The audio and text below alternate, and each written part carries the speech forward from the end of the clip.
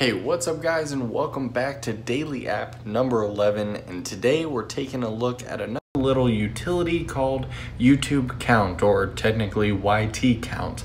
This is one of the few and one of the best uh, YouTube subscriber counters on iOS. There's a lot of them on Android, uh, but surprisingly not too many real-time subscriber counts uh, utilities on iOS. So this one I found it's totally free to download, but has a little bit of a premium, which does add some nice features. So as you can see here, I've added my three channels here. You can see, you know, not the biggest subscriber counts, but that's okay.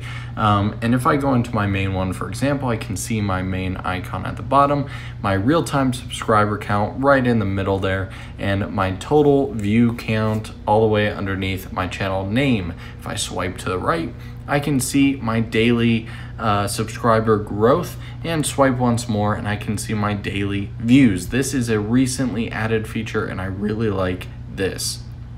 You also notice in the top right hand corner there's a little camera icon that would save a screenshot of whatever screen you're currently on. If I go back to the main screen here and tap to the top left, I can see some settings. This is where you can remove channels. I can hit delete here. You can also set milestones. So if you hit a certain subscriber count, you'll get notified.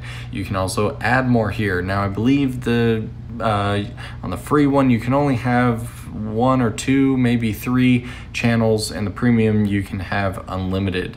Uh, you can see all those benefits right here. And yes, night mode is one of them. I'll turn that on real quick so you guys can see. This also changes the icon, which is cool. So if I go back to the home screen, you can see that's now a darker version. Um, and if I go back to the main screen here, you can see everything else is dark mode.